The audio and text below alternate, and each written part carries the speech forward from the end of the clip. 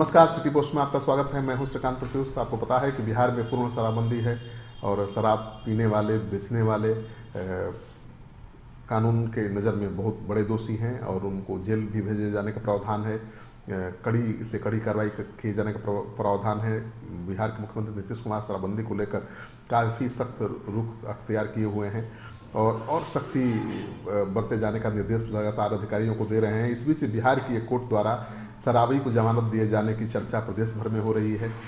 दरअसल शेखपुरा न्यायालय ने शराबियों को आर्थिक दंड देने के साथ साथ जमानत देने की अनोखी परंपरा की शुरुआत कर दी है। शराबबंदी कानून के तहत जेल में एक बंद आरोपी की जमानत अर्जी स्वीकार करते हुए कोर्ट ने एक अनोखा फैसला सुनाया है।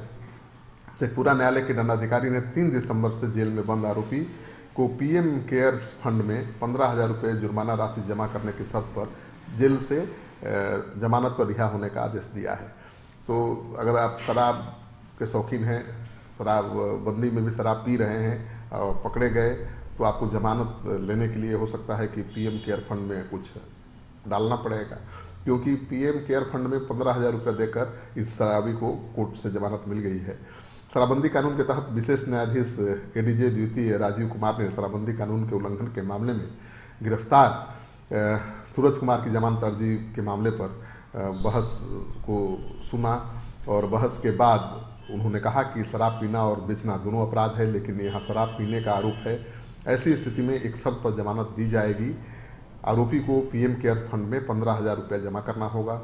न्यायालय के आदेश पर आरोपी ने प्रधानमंत्री केयर्स फंड में पंद्रह हज़ार की राशि जमा की और उसके बाद जमानत अर्जी उससे मिल गई और जेल से रिहा हो गया। शेखपुरा न्यायालय के इस अनोखे फैसले की चर्चा पूरे प्रदेश भर में हो रही है और ये चर्चा देश तक, पूरे देश भर में फैल सकती है।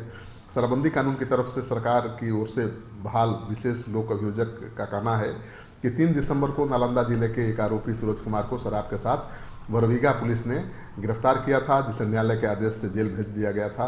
मुख्यमंत्री नीतीश कुमार लगातार शराबबंदी को लेकर हाई लेवल मीटिंग कर रहे हैं। कानून में शराब पीने वाले आरोपियों पर सख्ती वाले प्रावधानों में परिवर्तन करने की भी चर्चा हो रही है।